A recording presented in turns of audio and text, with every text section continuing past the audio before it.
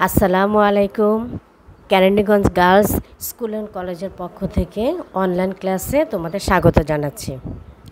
আশা করি সবাই ভালো আছো।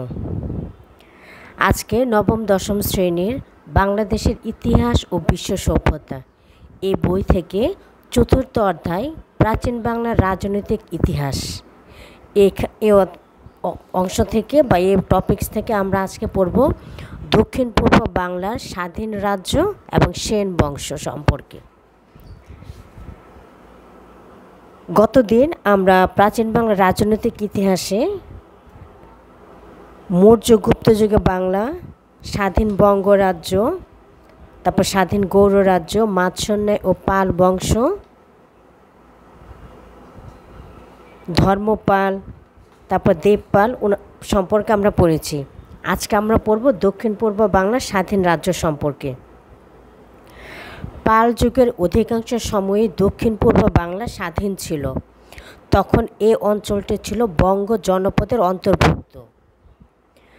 অষ্টম শতকের মাঝামাঝি থেকে বেশ কিছু রাজবংশের রাজারা কখনো পাল রাজাদের বিরুদ্ধে বিদ্রোহ ঘোষণা করে স্বাধীনভাবে তাদের এলাকা শাসন করতেন। আবার কখনো পাল রাজাদের অধীনতা স্বীকার করে চলতেন। কিছু সেরকম কিছু স্বাধীন রাজ্য হচ্ছে, প্রথম যে রাজ্যটা পড়ব বা বংশ সম্পর্কে সেটা হচ্ছে খড়গ বংশ। সপ্তম শতকে দ্বিতীয়ার্ধে মগধ ও গৌড়ে পরবর্তী গুপ্ত বংশ রাজারা প্রভুত্ব স্থাপন করেন। এ সময় খড়গ বংশের রাজারা দক্ষিণ পূর্ব বাংলায় একটি স্বাধীন রাজ্য প্রতিষ্ঠা করেন। তাদের রাজধানীর নাম ছিল কর্মান্ত বাসক। কুমিল্লা জেলার বড় কামতার প্রাচীন নামই সম্ভবত এ কর্মান্ত বাসক। খড়গদের অধিকার ত্রিপুরা ও নোয়াখালী অঞ্চলের উপর বিস্তৃত ছিল। এখন আমরা পড়ব দেব বংশ সম্পর্কে। খড়গ বংশের শাসনের পর তাহলে খড়গ বংশের পর আমরা এখন দেব বংশ সম্পর্কে পড়ছি। খড়গ বংশের শাসনের পর একই অঞ্চলে অষ্টম শতকের শুরুতে দেব বংশের উত্থান ঘটে। এ বংশের চারজন রাজার নাম পাওয়া যায়। এরা হলেন শ্রী শান্তিদেব, শ্রী বীরদেব, শ্রী আনন্দদেব ও শ্রী ভবদেব। এই চারজন বংশের বা চারজন রাজার নাম পাওয়া যায় দেব বংশের থেকে। দেব রাজারা নিজেদের খুব শক্তিধর মনে করতেন। তাই তারা তাদের নামের সাথে যুক্ত করতেন বড় বড় উপাধি। যেমন পরম সৌগত, পরম ভট্টারক, পরমেশ্বর মহারাজা মহারাজাধিরাজ ইত্যাদি। এইসব উপাধিগুলো তারা তাদের নামের পূর্বে বা নামের সাথে তারা যুক্ত করতেন। তাদের রাজধানী ছিল দেব পর্বতে। কুমিল্লার নিকট ময়নামতের কাছে ছিল এ দেব পর্বত। দেবদের রাজত্ব বিস্তৃত ছিল সমগ্র সমতট অঞ্চলে। আনুমানিক সাতশো চল্লিশ খ্রিস্টাব্দ থেকে আটশো খ্রিস্টাব্দ পর্যন্ত দেব রাজারা শাসন করেন। পাল রাজাদের মতো শক্তিশালী এ দেব রাজারও ছিলেন বৌদ্ধ ধর্মের অনুসারী। তারপরে আমরা পড়ব কান্তিদেবের রাজ্য সম্পর্কে। দক্ষিণ পূর্ব বাংলার হরিকেল জনপদে নবম শতকে একটি স্বাধীন রাজ্যের উদ্ভব ঘটে। এ রাজ্যের রাজা ছিলেন কান্তিদেব। দেব রাজবংশের সঙ্গে কান্তিদেবের কোনো সম্পর্ক ছিল কি না তা জানা যায় না। তার পিতা ছিলেন ধনদত্ত ও পিতামহ ছিলেন ভদ্রদত্ত। বর্তমানে সিলেট কান্তিদেবের রাজ্যভুক্ত ছিল। তার রাজধানীর নাম ছিল বর্ধমানপুর। বর্তমানে এই নামে কোনো অঞ্চলের অস্তিত্ব নেই। এ সময়ে দক্ষিণ পূর্ব বাংলায় চন্দ্রবংশ বলে পরিচিত নতুন এক শক্তির উদয় হয়। কান্তিদেবের গড়ের রাজ্যের পতন হয় এ চন্দ্রবংশেরই হাতে। এখন আমরা পড়ব চন্দ্রবংশ সম্পর্কে। দক্ষিণ পূর্ব বাংলার সবচেয়ে শক্তিশালী স্বাধীন রাজবংশ ছিল চন্দ্রবংশ দশম শতকের শুরু থেকে এগারো শতকের মধ্যভাগ পর্যন্ত দেড়শো বছর এই বংশের রাজারা শাসন করেন।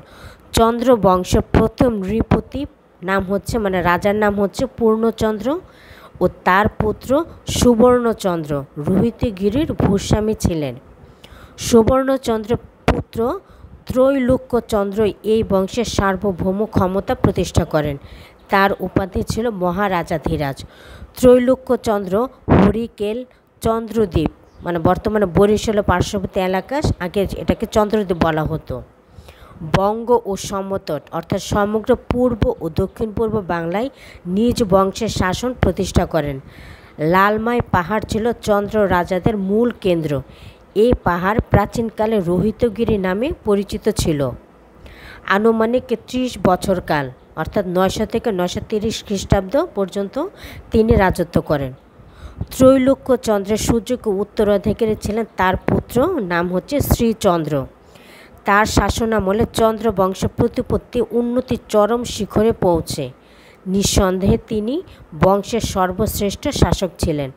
তিনি পরমেশ্বর, পরম ভট্টারক মহারাজা ধীরাজ এসব উপাধিগুলো ধারণ করেছিলেন। তার রাজ্য দক্ষিণ পূর্ব বাংলা ছাড়াও উত্তর পূর্ব কামরূপ ও উত্তর গৌড় পর্যন্ত বিস্তৃত ছিল। বর্তমান মুন্সীগঞ্জ জেলার বিক্রমপুরে তিনি তার রাজধানী গড়ে তোলেন। শ্রীচন্দ্র প্রায় পঁয়তাল্লিশ বছর। আনুমানিক নয়শো তিরিশ থেকে নয়শো পঁচাত্তর খ্রিস্টাব্দ পর্যন্ত শৌর্য বীর্যের সঙ্গে রাজত্ব করেন। শ্রীচন্দ্রের পুত্র কল্যাণচন্দ্র। তার সময়কাল হচ্ছে আনুমানিক নয়শো পঁচাত্তর থেকে এক হাজার খ্রিস্টাব্দ। ও পৌত্র মানে নাতি, যেটা বলা হয়, তার নাম হচ্ছে লডহচন্দ্র। তার সময়কাল হচ্ছে আনুমানিক এক হাজার থেকে এক হাজার বিশ খ্রিস্টাব্দ পর্যন্ত। তারা চন্দ্রবংশ গৌরব অক্ষুণ্ণ রেখেছিলেন। লডহচন্দ্রের পুত্র গোবিন্দচন্দ্র ছিলেন শেষ চন্দ্র রাজা।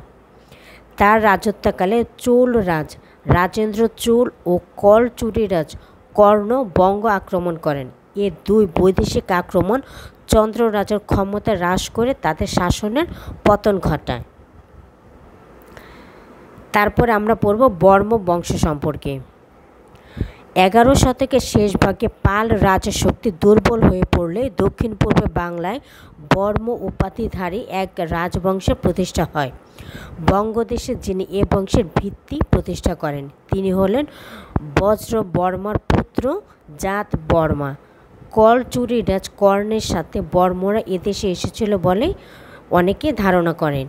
পিতার মতো প্রথম দিকে তিনিও ছিলেন কলচুরি রাজ, গাঙ্গেয় দেব এবং কর্ণের সামন্তরাজ কৈবর্ত বিদ্রোহের সময় তিনি শ্বশুর কলচুরিরাজ কর্ণের সাহায্য ও সমর্থনে দক্ষিণ পূর্ব বাংলায় স্বাধীন রাজ্য প্রতিষ্ঠা করেন। বর্মদের রাজধানী ছিল বর্তমান মুন্সীগঞ্জ জেলার বিক্রমপুর।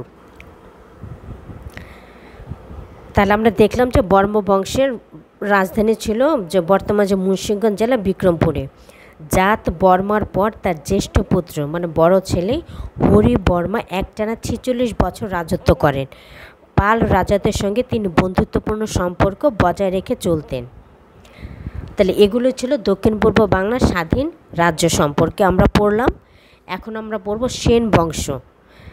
আমরা গতদিন ক্লাসে যে পাল বংশের পতনের পর যে সেন বংশের সাথে পাল বংশের পতন হয়, এখন সে সেন বংশ সম্পর্কে আমরা পড়ব।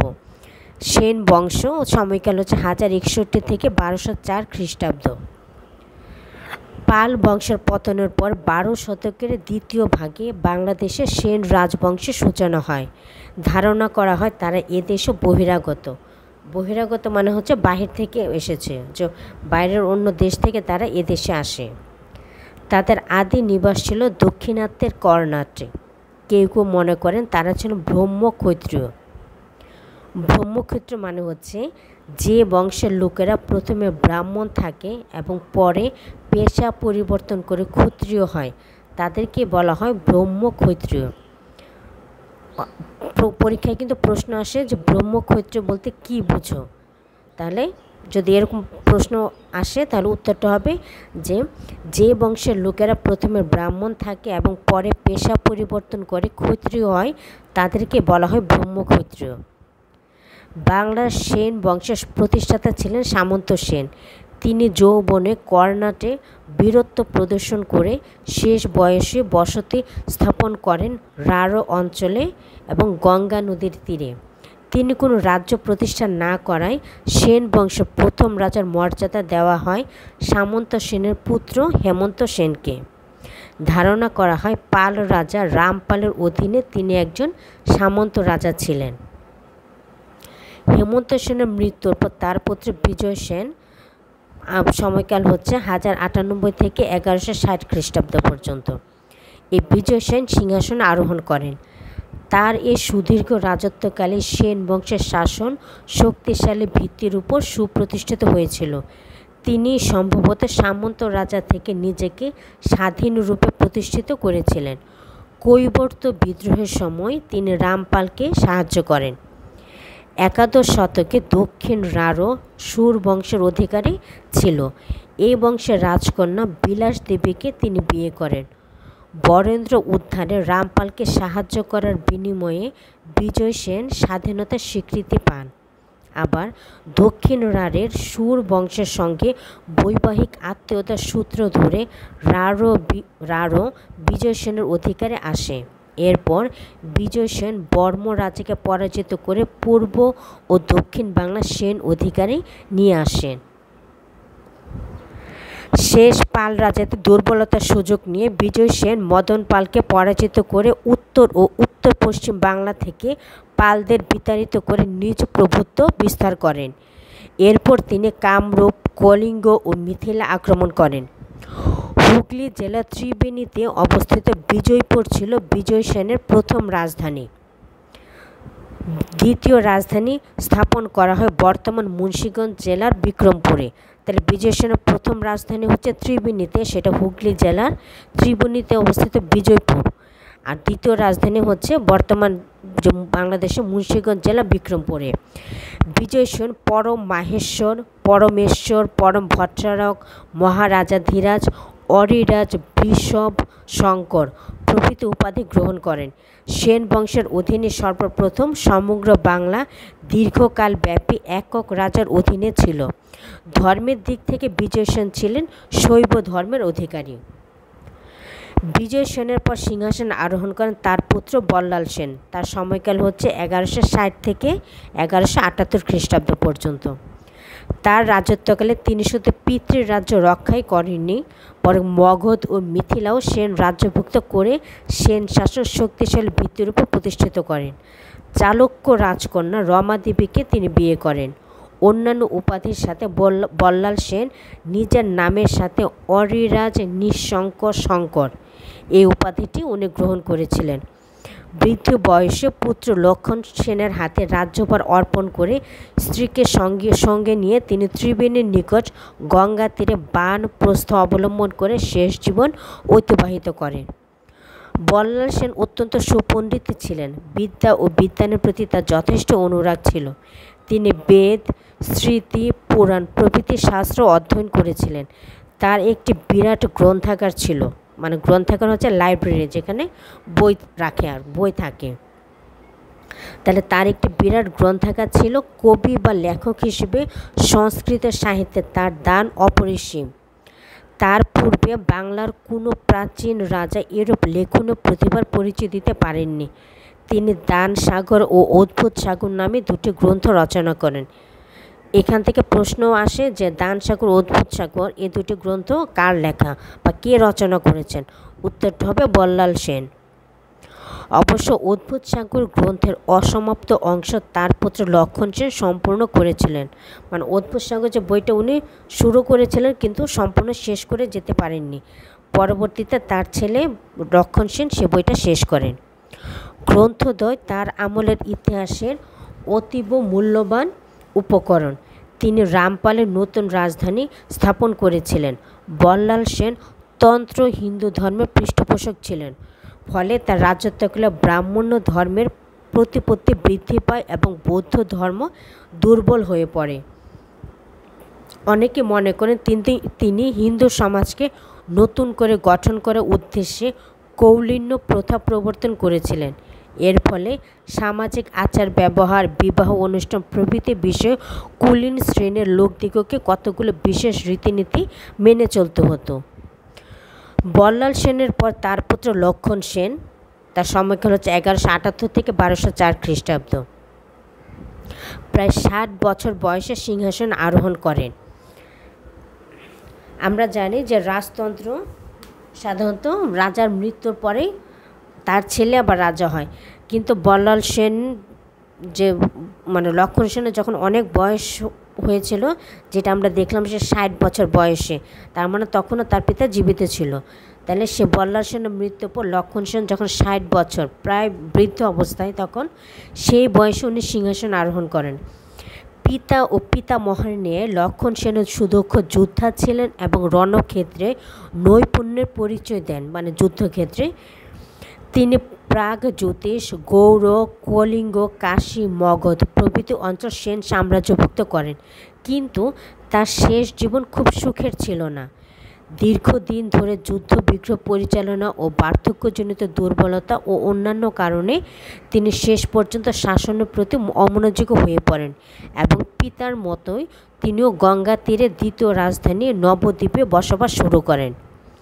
ফলে গৌরব ভয়াবহ ষড়যন্ত্র ও অন্তর বিরুদ্ধে লীলাক্ষেত্রে পরিণত হয় এবং অভ্যন্তরীণ গোলযোগের সৃষ্টি হয়। এই সুযোগে এগারোশো ছিয়ানব্বই খ্রিস্টাব্দে বর্তমান সুন্দরবন অঞ্চলে ডুম্মন পাল বিদ্রোহ হয়ে একটি স্বাধীন রাজ্য প্রতিষ্ঠা করেন। লক্ষণ সেন নিজে সুপণ্ডিত ও বিদ্যুৎসাহী ছিলেন। পিতার অসমাপ্ত গ্রন্থ অদ্ভুত সাগর তিনি সমাপ্ত করেছিলেন। লক্ষণ সেন রচিত কয়েকটি শ্লোকও পাওয়া গেছে। তার রাজসভায় বহু পণ্ডিত ও জ্ঞানী ব্যক্তির সমাবেশ ঘটেছিল। লক্ষণ সেন পিতা ও পিতামহের শৈব ধর্মের প্রতি অনুরাগ ত্যাগ করে তেন আরেকটা ধর্ম, যেটাকে বলা হচ্ছে বৈষ্ণব ধর্ম, উনি গ্রহণ করেছিলেন বলে অনেকে ধারণা করে। পিতা ও পিতামহের পরম মহেশ্বর উপাধির পরিবর্তে তিনি পরম বৈষ্ণব উপাধি গ্রহণ করেন। তিনি শাস্ত্র ও ধর্মচর্চায় পিতার উপযুক্ত পুত্র ছিলেন। ঐতিহাসিক মিনহাজ তার দানশীলতা ও ঔদার্য ভূয়সী প্রশংসা করেছেন। তেরো শতকের প্রথম দিকে মুসলমান সেনাপতি বখতিয়ার খলচে নদী আক্রমণ করেন। বৃদ্ধ লক্ষণ সেন কোনো প্রতিরোধ না করে নদীপথে পূর্ববঙ্গের রাজধানী বর্তমান মুন্সীগঞ্জ জেলা বিক্রমপুরে আশ্রয় গ্রহণ করেন। উত্তর ও উত্তর পশ্চিম বাংলা বখতিয়ার খলচে সহজে অধিকার করে নেন। লক্ষণাবতীকে মানে যেটা গৌর সেটা তাকে কেন্দ্র করে বাংলায় মুসলিম সাম্রাজ্য প্রতিষ্ঠিত হয়। দক্ষিণ পূর্ব বাংলায় অবস্থান করে লক্ষণ সেন আরও দুই তিন বছর রাজত্ব করেন। খুব সম্ভবত বারোশো ছয় খ্রিস্টাব্দে আবার কেউ কেউ মনে করেন যে বারোশো পাঁচ খ্রিস্টাব্দে তিনি মৃত্যু মুখে পতিত হন মানে লক্ষণ সেন মারা যান। বারোশো পাঁচ অথবা বারোশো ছয় সালে লক্ষণ সেন মৃত্যুবরণ করেন। লক্ষণ সেনের মৃত্যুর পর তার দুই পুত্র বিশ্বরূপ সেন ও কেশব সেন কিছুকাল মানে অর্থাৎ বারোশো তিন খ্রিস্টাব্দ পর্যন্ত পূর্ব বাংলা শাসন করেন। এইভাবে লক্ষণ সেনের পরাজয়ের মধ্য দিয়ে বাংলায় সেন শাসনের অবসান ঘটে। তাহলে প্রিয় শিক্ষার্থীরা, আজকে আমরা এখানে আমাদের পাঠ শেষ করলাম। আজকে আমরা পড়েছি প্রাচীন বাংলার রাজনৈতিক ইতিহাস চতুর্থ অধ্যায়ের দক্ষিণ পূর্ব বাংলার স্বাধীন রাজ্য এবং সেন বংশ সম্পর্কে। আরও বিস্তারিত ভালোভাবে পড়ার জন্য বা বোঝার জন্য তোমরা অবশ্যই পাঠ্য বই বাংলাদেশ ইতিহাস ও বিশ্ব সভ্যতায়। এই বইটির সাহায্য অবশ্যই নেবে এবং বই থেকে আর বিস্তারিতভাবে পড়বে। তাহলে করোনাকালীন সময়ে সবাই বাসায় অবস্থান করবে, স্বাস্থ্যবিধি মেনে চলবে, সুস্থ থাকবে। আগামী ক্লাসের আমন্ত্রণ জানিয়ে আজকে এখানে আমাদের পড়া শেষ করলাম। আল্লাহ হাফেজ।